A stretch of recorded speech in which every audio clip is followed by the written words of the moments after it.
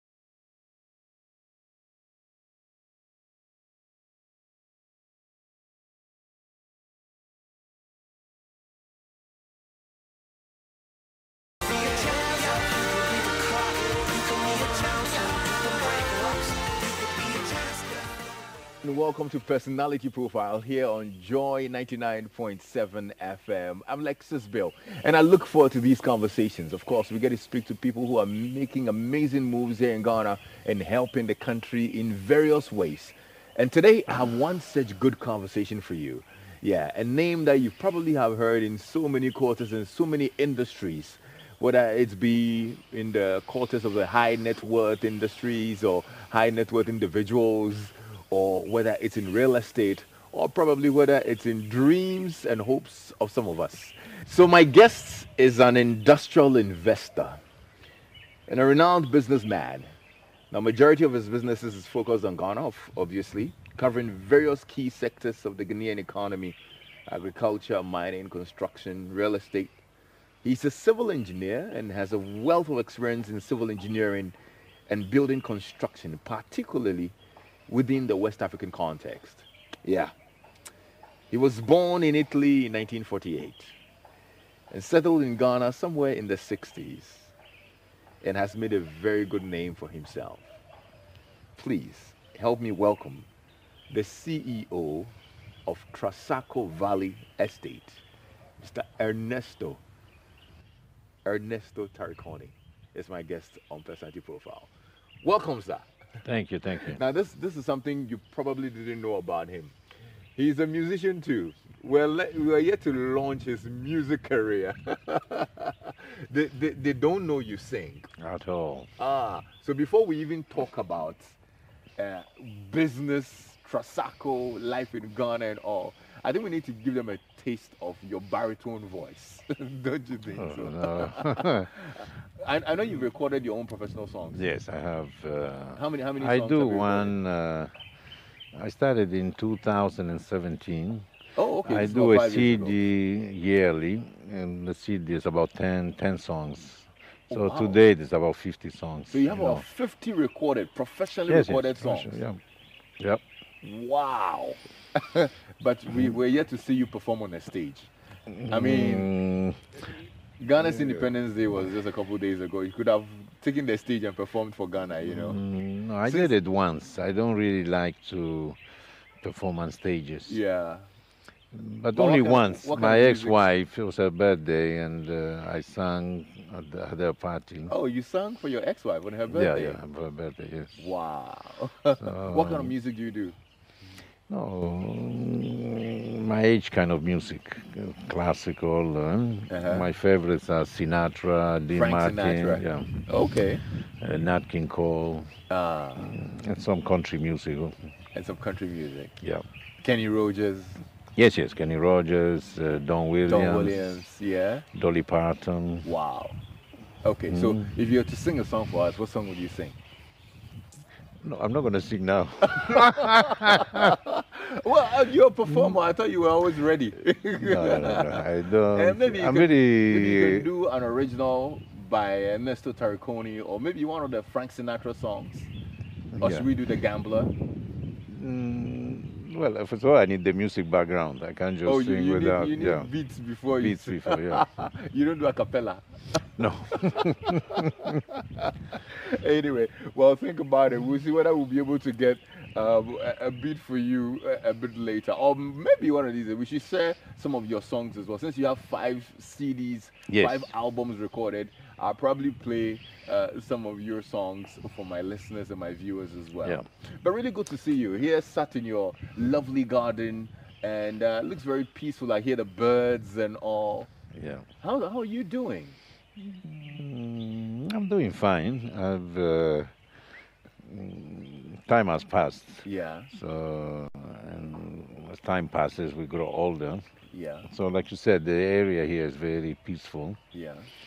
Times people ask why I live here, and uh, when you mention Pantang, the feeling is Pantang is doesn't suit me. Yeah, but I like it here. How is the CEO of Trasacco Valley Estates not living in one of the five million dollar homes or two million dollar homes in Trasacco Valley Estates? Mm, I like to, as a developer, that's always been my hobby, my what I've always felt to do. Yeah, So before I go to that, I do so many other things, but I knew that I must do the developments like Trasacco. yeah, Uh, I like to build beautiful things. That doesn't mean I should live into one of them. Well, Yeah. to me, comfort, peace of mind, space is Yeah. more important, you see. Uh, this was by accident that I'm here. Uh, it was in the 80s, the revolution that came about. yeah. It was very dangerous, I would say. I was living at the airport near ex-President Kufuor's house. Okay, I was one of the first one to build there. For some years, there was not much activity going on in Ghana. Everything was at a standstill okay, because I had nothing better to do. So I started building these uh, bungalows. What were they meant for? Mm, I just had the land. I said, let me build them. I knew I had some industries that would pick up, and it would be ideal to some of the managers to keep them here. And exactly what happened. hmm? Uh, so it came by, call it an accident, but Yeah. it turned out very useful. Yes, and this is where you've been living since. Yeah, since the 80, I've been here now 22, 42 years. I'm here. Yes. 42 years. Wow. If you ever wondered why the CEO of Trasacco Valley lives in a bungalow in Pantang thereabouts and not in one of the mansions in Trasacco, well, he just told us a story. That's quite a, a very interesting story, and I and I can feel the peace and serenity in this place. Um, I don't know whether it's as chaotic in Trasacco, but it's also very peaceful there, Yeah. isn't it? You know, with age, you your perception of uh, your world, the world changes. Yeah. You know, when you are young, you want to take it all. You want to build a house that's uh, enormous. As you get old, you rather. Uh, I've lived at Villaggio. I've penthouses and so on. But I was very uncomfortable Mm. because from your bedroom, if you want a coffee, to get to the kitchen, it's quite a distance. yeah, it's very convenient. Yeah. From it's very fast. Yes. Mm. Yeah. But it's the compound. When you entertain, rather you need a big compound, which Yeah. I have. Yeah. Mm. And no way I would change my uh, way of living to anywhere else. It's Good too stuff. comfortable for me here. There's a lot to learn from that, absolutely. But let's get to the journey itself. Today we get to explore the journey from the beginning, the journey from Italy, because you were born in Italy, I was born here in Rome.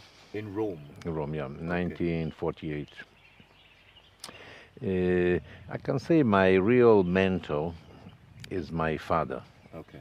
who passed away quite young in 1979. And although we had our differences, I left home when I was 16. You left home. Yes, yes, because uh, I didn't like certain things, you know, children, the quarrel with the family, and then you What, just what pack. were you quarreling with your parents about?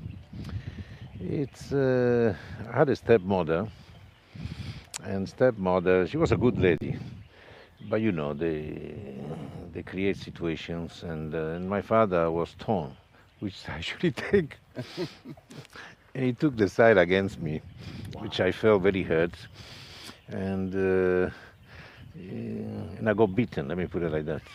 Mm, By Those days by my father, yes, yes, and. Uh, kept quiet. Then I went to bed and planned my journey to the UK. In those days, the UK, Italians needed a visa to enter the UK. And uh, so I traveled to the UK with a train. No money, hardly anything. Uh, and when I go to Dover, we cross with the ferry boat immigration started checking, you know, the luggage, asking questions, and they realized that, what are you coming to do in the UK?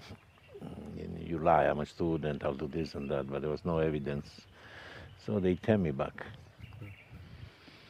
And uh, in the night, the ferry boat uh, uh, shut down, so you have to wait the following morning. So they put me in a nice cell, In And- a cell. nice one, not like we have UK. But it was a cell. yeah, it was a cell. Good. Mm, I was confined. Uh, and uh, but luckily I was not alone. They turned back quite a number of people. okay. So that's I was the kid, Yeah. and there were other Italians, 20 years, 24 years. So I uh, I stuck behind them. The following morning, when the ferry boat is ready to move, before then they got us a very wonderful breakfast. I'll never forget a British breakfast Mm. which in India I'd never tried uh, British breakfast, you see. So they served us nicely, yeah? Mhm. And then after that, on the ferry boat, and they sent us back to out of England. So we landed at Calais in France. Uh, one of the friends I had made in the cell room, he had uh, some sort of girlfriend in the UK. Uh, who used to work for a legal uh, uh, office. Okay. She was a secretary. Mm. So he called her, and she arranged to to get us in order, register us in a school, and um, and uh, while that was going on, we were in Calais for about two weeks. And I paid no money, but thank God, I had made this my two friends. Yeah. They were taking care of me. Mm. One was a rascal, a delinquent, I would call him. The the elder one, Yeah. Do you remember his name? yeah, Piero. Are you still in touch with him? Not really. He's in cell. He's, he's in a proper cell now. Wow. Real delinquent. I yeah, very delinquent. Wow. And uh, the time came that this the secretary's girlfriend flew to Calais with documentation that now we can cross the back to the UK, and we did. And anyhow, we did a lot of naughty things whilst I was in England. Yeah. We survived For how long? six months. And then My father traced me. Oh, he traced me. He traced me, yes. And now he was not violent. He, in a nice way. yeah. He He wanted you said, to come back home. yeah, and I, of course, Yeah. the way I was brought up, you respect your father. Yeah. I went back. Prodigal son. And uh, Fabrizio, uh, he was heartbroken. Uh, he want me to leave him. And I said, but what the nonsense are you doing? Your girlfriend has told you what she thinks of you. Let's go back. He stayed a while longer. Eventually came back, got married to an Italian woman, Mm. has wonderful children. And uh, so we laugh. When we meet, we laugh about it. At what point did you come to Ghana? After my father came for me, I think the next year, he had planned that he was coming to Ghana. Okay. He met at the party one Nanankatia. Nananketia. Nanankatia, yes. A chief? A chief, yes. Of which and uh, no, it's in the Fant, in the Takoradi area. Okay. And he spoke highly of Ghana as coming up here and there. And my father just said, okay, let's go to Ghana. That's how That's how I landed here. So you came, uh, did you come first with your dad or he had come earlier? He had come, it all happened within a few months. Okay. He came earlier, then he went back, then one of my brothers came, Mm. went back, then another brother. I, I have three brothers, I've lost one. Okay. So, and I came, eventually I came. Mm. What was uh, your father into at the time? My father is foresight. He, uh, like I say, he's my mentor. He had big ideas. At least uh, he, he he was also into construction. He was into construction. Construction, see? Okay. and uh, he he was into buying lands. He felt, and in those days it was much easier. It's not what it is today. Yeah. It was very easy to buy land, and the price was reasonable. He had a list of uh, setting up 33 different industries. Mm. But of course, he passed away. He couldn't. Uh, so he left something like a footprint for me to continue from. Okay. So when he came and uh, he thought that it was a good idea to bring you, the stubborn son from UK, come to Ghana as well. What did you think of No, that no, idea? no, no, I'm not a stubborn son. I'm not. Uh, I was hurt. Mm, few uh, months before, I'd had an operation in my nose. Okay. To my nasal thing was deviated, Okay. so I had an operation. So, so that day when I was beaten, I felt, ah, I just had an operation. Listen, then you are beating me, you know. Yeah. So it's a combination of things that they say, no, no, no, no, I'm going. Okay. So, but I, I love my father, not uh, no doubt. um, Yeah. So when when he suggested that you come to Ghana with him, Yes. what did you think of it? Well, I went in encyclopedia to look up uh, what's this gun. I've never heard of it before. and then I saw it's in Africa. And uh, in those days, at least in Italy, you hear a lot of stories uh, Africa here, Africa there. eh? Not uh, good comments. You know, they always say negative things about Africa. Like what? Mm, you know, they can eat you. or, uh, and then the weather, very hot. Yeah. Uh, you can't uh, survive the heat. All of a sudden, day, daytime turns into nighttime. There's, oh, yeah. So at the time, Italians actually thought that Africans or Ghanaians ate humans. Yeah, now I'm a bit exaggerating, but uh, you know, ignorance is a horrible, is a terrible thing. hmm Mm. So regardless of all these negative comments you were hearing, you still wanted to come. Yes, because I thought the way I was brought up, you, your father, as long as he's around, is the patriarch. You, you follow him. Eh? Yeah. No matter what differences you have, you patch up and you follow your father. Mm. Okay. Tell you the, the way I look at Italy, the central part of Italy, let's say from Rome downwards, is the true Italians. Mm. I'm sure this interview is listened by other Italians, Yeah. the northern part of Italy, we don't consider them Italians. They are not uh, warm or, or lovely like the southerners. Okay. So, so we from the south, let's call it the south, we uh, we believe in family values. Unlike the people in, let's say, Venice, Verona. No, no, no. The father, mother will do their duties till you are of age. Then that's the door. Get out. Go and find your own uh, living. Mm, Your father in the south will never send you away. He will want to keep you. And if you marry, he wants your wife to come and live into his house. Okay. So they have uh, in the south they have sizable lands. So Yeah. quickly they'll build an attachment. Okay. So when you have like lunch or dinners, you see Yeah. a table, uh, 50, 60 people sitting there having uh, lunch or dinner. Mm. Yeah. Is that the kind of family structure you are you are practicing now? Well, I have four kids and uh, seven grandkids, and we meet regularly. Uh, I They are all cook. they are all here in Ghana. Yes, they're all here. Okay. I've managed. I was successful in doing that. Mm. Uh, and they're all in the family bus in the family business. Okay.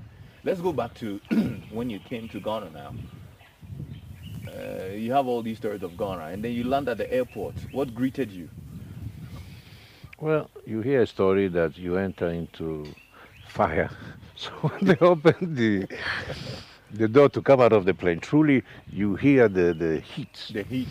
So at the back of your mind, you heard the, there's fire. so that was the first shock. then that time when I came, the Kotoka International Airport mm, did not exist. Yeah. It was an old, uh, it's gone now. Uh, so I came down, then I see a lot of people trying to hold my luggage here and there. And again, I'm worried, what are they going to do? They're going to steal my luggage. and uh, But they were only trying to help you. yeah, to help, correct. But, uh, and my brother, who was already here, he was supposed to have come to pick me, mm, he was late. So I was a bit concerned, worried. But eventually he showed up. And uh, we went home. And Young, he insisted, let's go out at once. And I followed him, why not? And he took me to around cantonments. There was a place called the Star Hotel. Star Hotel. Star, yeah, wonderful place. And uh, in those days, everything's in the open. There were no closed uh, clubs. Huh? Everything was in the open. It was uh, Star Hotel, Lido, and a few others. Uh, and again, you go there, you see things for the first time you you could have not imagined. And one of the first thing I observed, every table has got so many empty bottles of beer. Yeah. You see? Mm, And I say, usually in Italy, you drink a beer, you order another one, they take the, the empty bottle They away take the empty bottle away. and give you another. Yeah, The bottles were stay there. on the table. And I realized there's a way of showing off how much beer you've drunk. Okay? But then, as we are sitting, the dance floor, I see retired British men, 70, 75 year old, they are on the floor dancing with young girls. See? Which again, in Europe, when you're retired, you're retired. You can't go out, nobody wants you, nobody.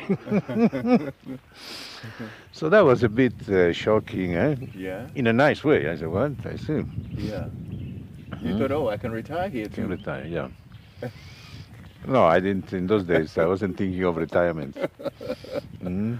But it obviously was a good sight for you. Oh, very good. Very, very good. Very good. Very good. Yeah, yeah. They in the old It shows age you that the mm, independence you got it in '57. I'm sure Yeah. there were British years before, Yeah. and they enjoyed their life here. They uh, they're going back to England to what? To die. Mhm. Uh, eventually they'll die, but at least let me die where I'm enjoying myself.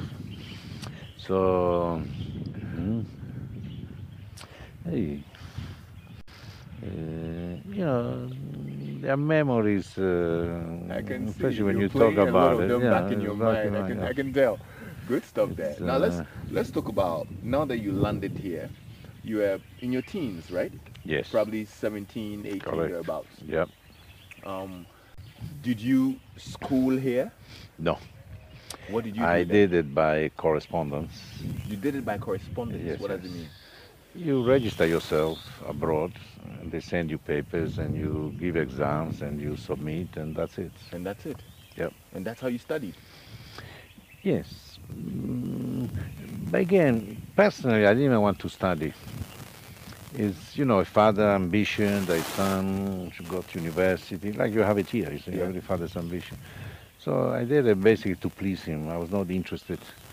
Always I feel, mm, at least the early education I think is necessary. I guess to a stage that mm, if you feel you can achieve, uh, why are you wasting your time? Eh? But like I said, I did it mainly for my father's sake. Okay.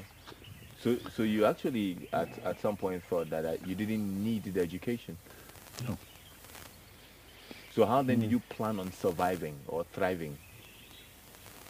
Well, I never wanted to be an employee, so I knew all along that I'll be some sort of entrepreneur here or there. Okay? Okay. So there's no way I can work for somebody. Sitting in the office from 8 o'clock to from what? Hmm? No way, no way. You didn't see yourself doing that. At all, at all. How so? I mean, what, what was it about you that made you think that you can't work for anybody? Well, you know, today, what is the world population today? Seven billion. 7 billion. And you could say that 90% or 95% of that population, their mentality is to get a job, work, and that's it. There's a small percentage, they don't reason like that. They're the ones who rather will employ the 95% to keep things moving. Mm. So I can say I fell in that small percentage. Wow. Uh, uh, I would feel uh, mm, useless to go and work for somebody because I can feel I can I can do better for myself and for others. huh? Was it Mm. because you, your your father was a rich man? My father was not extremely rich. He was very comfortable, and uh, he too he was an entrepreneur. I think he went to school up to the either fifth or sixth grade, eh? Mm. not further than that, and he was very successful. What made you so convinced that you'll be successful in Ghana, a country you were not so familiar with? Till my father was alive, although even here we'll quarrel, I'll leave him many times, uh, I fell in love. Hmm? At that stage, uh, where am I going? I don't have money, I don't have anything. Could have not taken her abroad. Um, Although she was wealthy, eh? she had the money, mm, so it was very convenient for me. If I quarrel quickly, I move with her. and uh, With a Ghanaian woman. yeah, can, you Wow. and uh, you know, when you fall in love, it's uh, hmm. Mm. so that's that's it. hmm. Where did you That's what made me to stay here. a, a woman kept you here in Ghana. Yes, uh, most likely I would have stayed anyhow, but I think she had a lot of uh, influence over that me taking that decision. Where did you meet her and how did you meet her? Mm, Strangely enough, she she was uh, she had a shop. She was a trader, and quite good at it. And uh, mm, trying to make herself. My, it's my stepmother Mm. who got to know her. Then she was invited to one of our house parties, Mm. and that's how we got to know each other.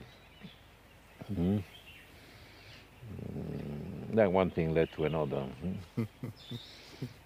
okay. Was she the My one got- wonderful, wonderful woman. You got married to her? Yes, yes, we got married. For how long? Married for more than 20 years. More than 20 years. 20 years. And Yeah. then uh, uh, the usual story. You come home, she has said this, she has said that, and uh, one thing leads to another, then you just walk out. Hmm? She has heard this and that. What was that? You know what I'm talking about. No, I don't. Oh, you don't? Yeah. and uh, mm, you know the so, so so-called friends Yeah. they spite you because if you are successful here and there they will call her Mm. tell her they've seen me here they've seen me there with so and so and so so and Mm. so and so okay times it was true but many times it wasn't Oh, at times it was true. so i come home i open the door and something is thrown at me and then quickly i close the door and run and you run one two three times then enough is enough Mm? and uh, anyhow we parted Okay. And uh, uh, but today she's my sister she's my everything she's there for me eh? and i'm there for her anything Yeah. she's uh, and we've kept all the children together it's, Or the um, four children. yes Okay. Okay. so like i said earlier four children with uh, seven grandkids Seven grandkids. yeah. Mm, all healthy all uh, normal-minded. Uh, Yeah. So we've been blessed. Let me say it. Okay. Been blessed. And she's a full Ghanaian woman. Yes, yes. She's Okay. from uh, uh, Mampong and Nsuta. Mampong and Nsuta. an Ashanti. Oh, okay. Okay. Yeah, they are troublesome. And they're strong. I see. Well, that's a very interesting story. And then, so now you're you're divorced. Yes, Do you plan on getting married again? at all. you want to go back at to Star Hotel and. Live exist. like they the- hurt me when they destroyed the Star Hotel. It was very painful. it was painful. huh? Mm. You'd have loved to go back there and probably live. Mm, Like well, like the British men. Like the all British men. Yes. Okay. Now let's talk about work. Uh, now you are working with your father here. Let's talk about work now. Here you are deciding, look, I'm not meant to work for anybody. I've got to start my own business and be an entrepreneur.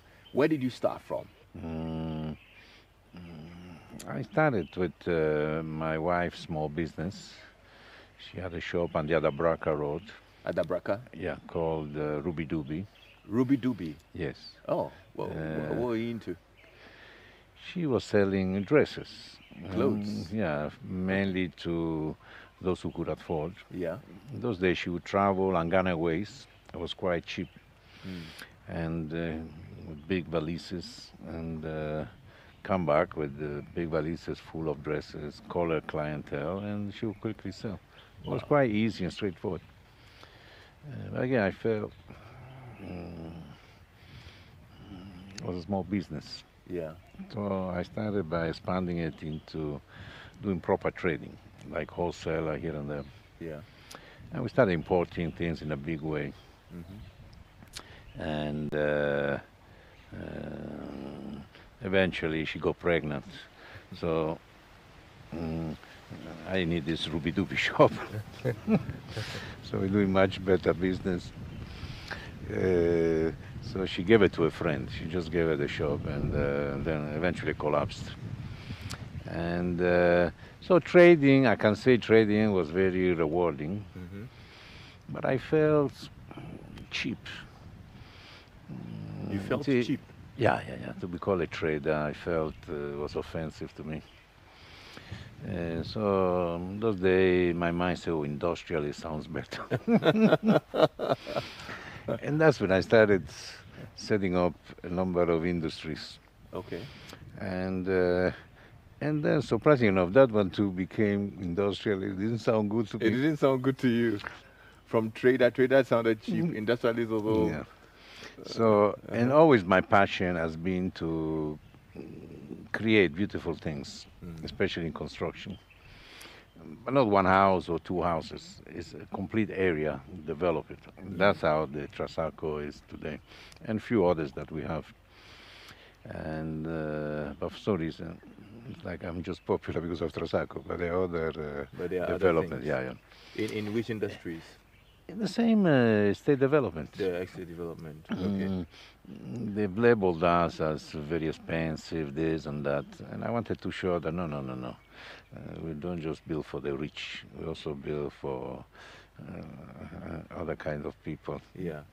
Mm, mm, and, uh, and we are doing another project which looks wonderful and is doing extremely well.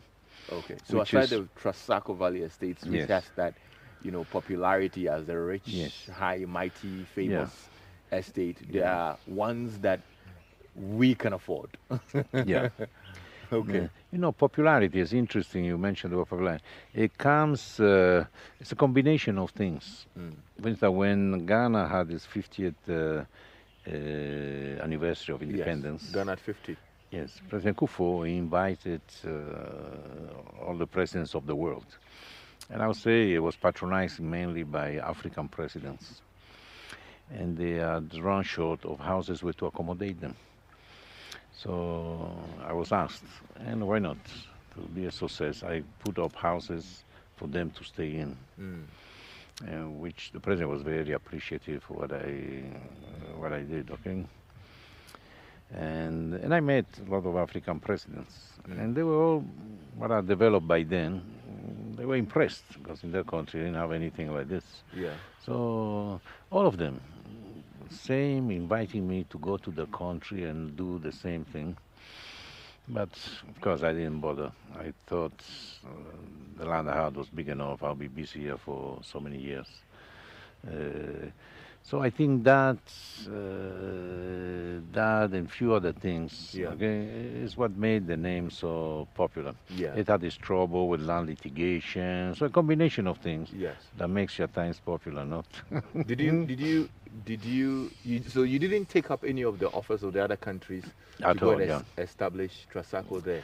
No, no, no. The only one I'd taken up mm, when I saw what happened here in the 80s with the revolution, Yeah. and everything was at a standstill. Then things started picking up. Mhm. So during the revolution, the early days, you could buy anything very cheap because Mm. everybody was selling. So uh, I happened to know Charles Taylor in those days, Yes. big talkative, this, and I believed him. So when uh, he took over, Yeah. he invited me there to do some renovation. A lot of the buildings, there were bullets here and there. So I started with one building. It was the National Archives. And then they turned it into um, Liberian Investment Center. hmm And uh, uh, not that he started misbehaving, he just ignores you. He So I used you. I used my money to do the building here and there, quite expensive. Yeah. And then he, no way I can get my money back, is it? Wow. So, so that's it. But even the money, I didn't want to take the money away because of the experience in Ghana. Mm-hmm. I could buy so complete streets there. Yeah. Whatever money I get there, I buy the streets and keep the land to do eventually development. Liberia picks up, you see. So that was my plan. Unfortunately, uh, Charles Taylor misbehaved. He never paid you. Never paid. Successive government, even the lady, she came to the 50th anniversary, Yes. and I mentioned to her, look, you, you owe me. Yes, yes, S- Ellen. Sirleaf Johnson. yeah. You owe me this and that. So she pleaded that uh, they don't have money now, here and there. I said, but put something right writing. No, they- Pay small. they- yeah. so, So Liberia still owes you. yeah, yeah, they owe. Maybe maybe And, I need to get you to speak to George Weah. Mm. I know him. I met him. You met him When I was there, I used to stay in his hotel. Ah. Very nice guy. I never thought he could become president. Yeah. He's, uh, Have you have you tried channeling your grievances no, no, to I've never. I've given up. Oh, you've I've given up on I've given up. Yeah. I see. Wow. Mm. So you stayed back in Ghana, developed the Trasacco Valley Estates, became very iconic. Yeah. Lots of influential people bought houses from you, built Yeah, they're you- expensive houses. very expensive houses. so, Do you remember how much you sold your first house for oh, it was cheap. At It was, uh, yeah, about two hundred thousand dollars, something like that. About two hundred thousand dollars. You, when I started there, a lot of friends advised me not to, because it wasn't developed. Even before getting to Trasacco, all that area was uh, Bush. undeveloped bush. Yeah. And uh, because I had the land before Trasacco Valley, and I tried to start there, uh, the trouble was too much with cutlasses here and there. I decided, let me go back. And Trouble with what? with land litigation. Okay. Okay.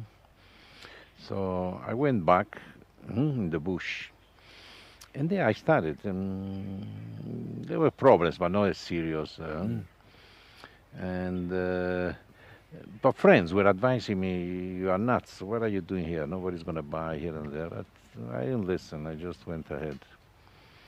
And uh, so initially, as friends, I gave it uh, at cost, or Okay. even less, uh, just to move in, to keep, catch the momentum. Yes. And eventually it did.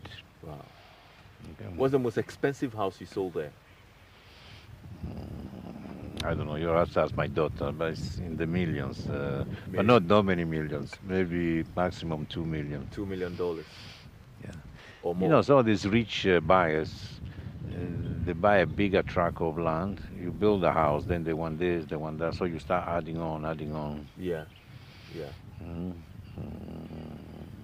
I see. So what was the business plan for Trasacco exactly? Uh, to create an exclusive estates for people who are powerful and influential? No, no, it was for my personal ambition to create something different, unique, Mm. prestigious, uh, to leave a mark behind, to leave a name. Yeah. Mm, and I repeat, that's what I enjoy doing. eh? It's not uh, mm, contrary. So my thought there was not mm, business minded. It's Okay. just I felt, and to keep it ongoing, of course, people have to buy. Otherwise, I have to stop. Yeah. Mm. So um, One of the major challenges in the real estate industry is litigation, land litigation. yes, And you probably have found yourself in court many times because of that. yes. How do you go around it? You can't. You have to face it, and uh, I try as much as possible to avoid court cases because you know when they start, you never know when they're going to end. So you just, uh, uh, you know, families or chiefs, they're always disputing among themselves. So I might buy it from you, and he will come and say the land is his. The other one will come, the land is his, and you'll be buying. You can either go to court with all of them, and that's it. The the thing the judge will do, put an injunction, and that's it. You stop development. So the uh, logical thing or the wise thing to do is come sit down and and you negotiate and give Okay. them some money and that's how you keep on going. Okay. Okay. But Trasacco Valley, I can say I bought it ten times. You bought it 10 times. Ten times, yes. And uh, uh, apart from that, uh, individuals who also, whether genuine or fictitious documents, they were claiming portion. So I had to buy and buy and buy. So you kept buying the same piece of yes. land that you had bought. Yes. Wow. So if you look at Trasacco Valley, usually economically, if you do a development, you start uh, you move forward like that. Yeah. I had to move in a circle to protect the land, yeah, which is much more expensive because you have to develop the, all the infrastructures. um, Yeah. Okay. mm, I see. but like I said, you learn as uh, when I started. Maybe if I knew what I'll go through, I would have never started. Mm. Then it's uh, mm, we, we've we've seen things. Yeah. We've seen things. Okay. Well, what are some of the other challenges you you faced? Like I said, building. I enjoy building. So mm, challenges you might have with some of the workers. Mm. Mm, They are naughty. You turn your back. They go and hide, or, or they steal from you. Yeah. Mm, But that's manageable. Not uh, the main challenge is land uh, land litigation. Yeah. Okay. You've done business for many years in Ghana. Let's talk about the general business atmosphere. Is it better now than before? Mm, Ghana has changed since I first came. and uh, when I first came, it was a very simple uh, economy. Mm, nothing much, I can say. So, uh, since the 2000, Ghana has really grown potentially. Okay. But I feel it could have grown much, much, much more. And uh, uh, again, uh, you know, Ghana, I think we talk too much mm, and nothing gets done. I think we talk too much. Yes, yes, I'm talking about everybody, uh, Ghanaian citizens who talk, talk, talk, talk, and uh, nothing happens, you see. Mm. And, uh, and, uh, and to answer you what you asked before, that I will never work for anybody, it's, uh, uh, you know, I think how to create things. Uh, and I do them. hmm see, it's not just talk, talk, talk. Yeah. Not, uh, so, But with all these challenges that you faced, did it ever discourage you or get to a point you are like, okay, I want to just give up? Because I'm, I'm thinking, no, I don't give up. mm, But I've, uh, like I say, I've aged. Yeah. Before I was very, when I was operational, very active. When they see me coming, everybody shakes. Now when they see me coming, oh, Grandpa is coming. and uh, mm, so basically, I sit back. Of course, I tell my kids direction, this advice, and luckily for me, they are they're also determined to, to make the best of things. You see. Yeah. Mm, I just feel, uh, and of course it will come. Mm. But Ghana deserves uh, a better standing than where it is today. Yeah. I mean, And it's not the politician; it's the people that It's can not the make politicians. no, no, no. Politicians all over the world they have the differences, problems, and we always accuse them, but mm, really it's the people. mm, Okay? Uh, give you an example. Take the Chinese. Okay. Mm, The, China is great, not because of the Communist Party, because of the people. They are hardworking. They sacrifice. They. eh? But yeah, we like it easy. We like it the easy way. I think Ghanaians like it the easy way. Yeah, yeah. And uh, when I developed some houses in Obuasi, um, it was by contract to complete uh, 150 houses in one year. And uh, so I brought 10 Chinese. Okay? And truly, with the 10 Chinese, I managed to build uh, 150 senior staff houses eh, Mm. in Obuasi. Uh, they're hardworking. They came, they don't speak English. So with the 10, there was an additional one, which was the interpreter.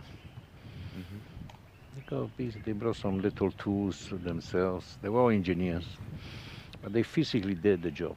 Mhm. Okay, very hard working. Today we have a lot of problems with the Chinese here because they're involved in the mining sector, the gold here and there. And uh, of course they're thinking they come from another country. They they're coming here to make money. Mhm. Okay, and if they do what they are doing, which is illegal, it's because somebody is facilitating it for them. So. hmm. Mm, If you had to advise people in the business world, what would you tell them?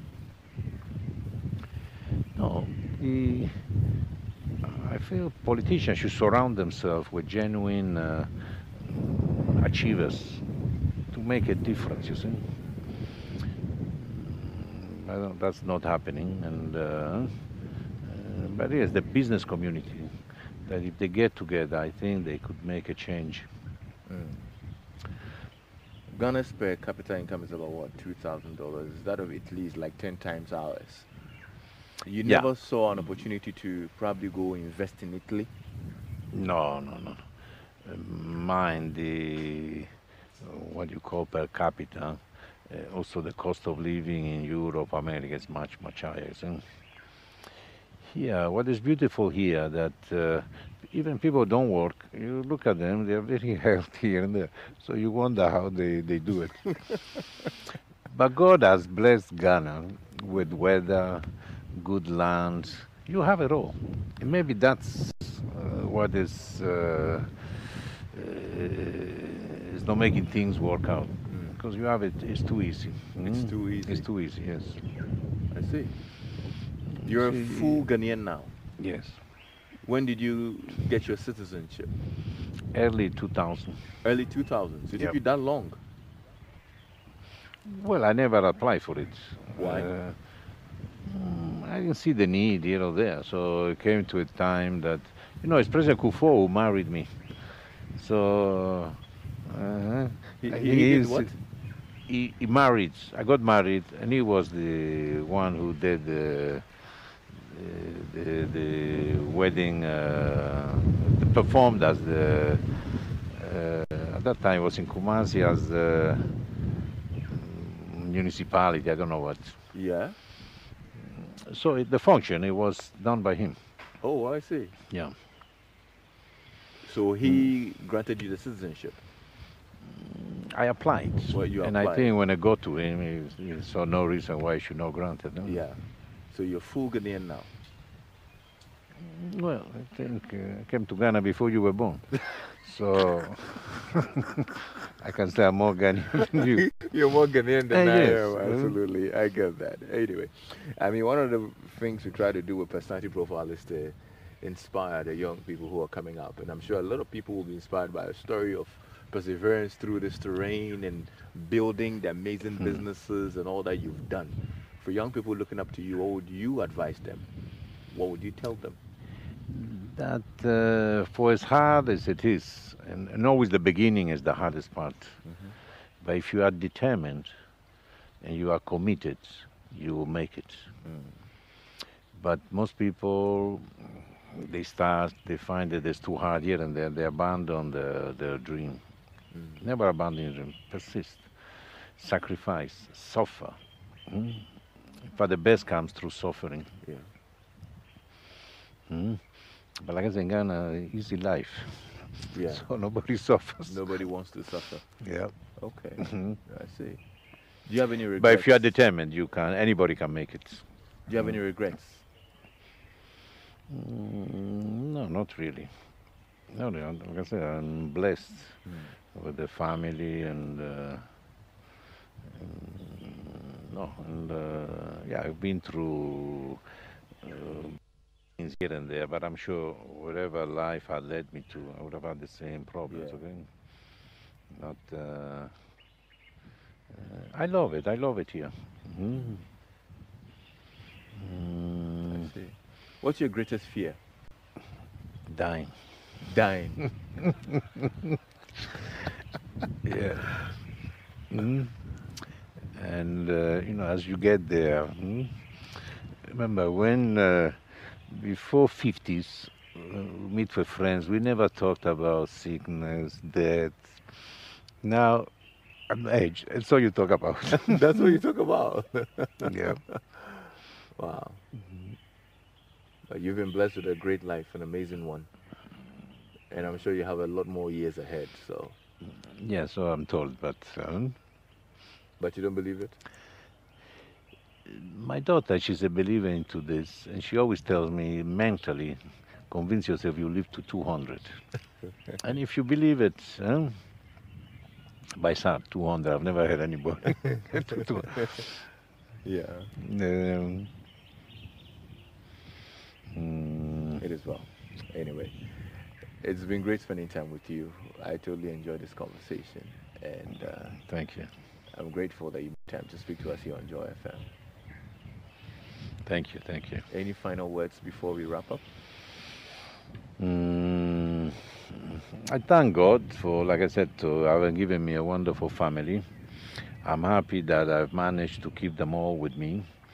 Though they got married, they could have gone follow their husbands. I have two boys and two girls.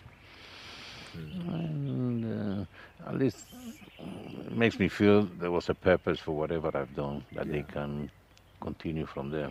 Are you fulfilled? Mm, I can say so, yes. I can say so. Well, Mm. he lived his purpose, he lived his life, he's fulfilled and he's happy. And he's actually charted the path for many to follow as well. Ernesto Taricone, Executive Chairman of the Trasacco Valley Estates, here on Personality Profile on Joy 99.7 FM, and of course on Joy News as well. I'm Lexis Bill, and it's been great spending time with you. And on behalf of my technical team and my producers, I'd like to say thank you for spending time with us. Regards to my brother Kwame Usudanso and his team as well. And uh, we'll be back with another edition of Personality Profile. Have a good day.